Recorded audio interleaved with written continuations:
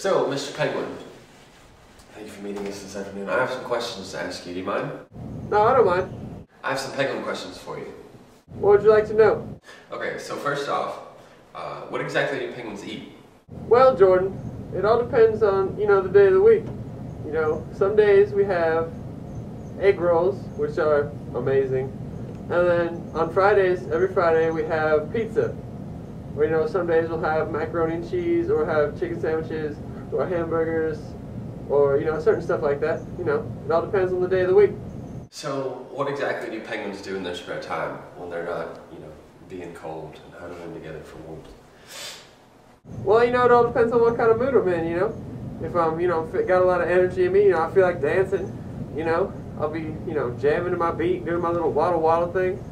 Or, uh, if I'm, if I'm, you know, around the theater plays, you know, we do a lot of acting around here. Or, uh, or, uh, you know, you feel, you got a lot of stuff you got to say, you can, you know, sing it out, stuff like that. You know, on Wednesday they have barbershop, stuff like that. And, uh, or if I'm being bored, you know, I'll just, I'll just sit down and draw. Now, are penguins from the northern hemisphere or the southern hemisphere? Uh, well, I'm uh, from the northwest Arkansas region, to be honest with you.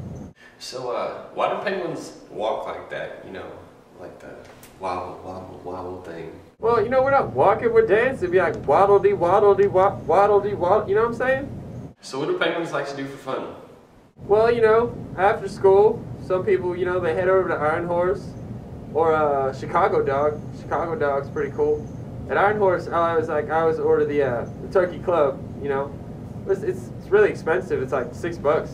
So, everyone here is just dying to know who the true identity of the penguin really is.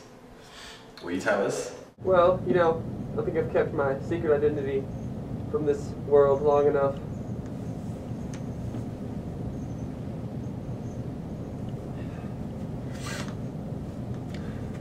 Oh, hey, you're a pretty good looking guy.